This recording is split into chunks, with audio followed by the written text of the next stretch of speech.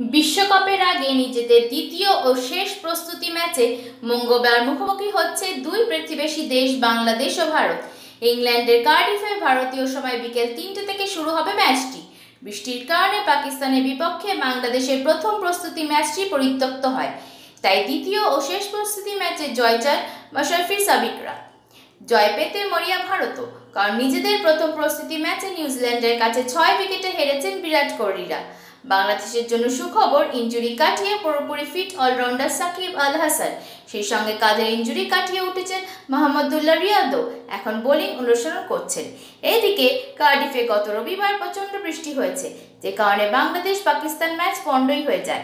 তাই একই কন্ডিশনে বাংলাদেশের মোকাবিলা করার আগে একটু বেশি ভাবাচ্ছে ভারতীয় টিম ম্যানেজমেন্টকে স্থানীয় আবহাওয়া পূর্বাভাস বলছে কার্ডিফে এদিন সর্বোচ্চ তাপমাত্রা আঠেরো ডিগ্রি সেলসিয়াস এবং সর্বনিম্ন তাপমাত্রা সাত ডিগ্রি সেলসিয়াস।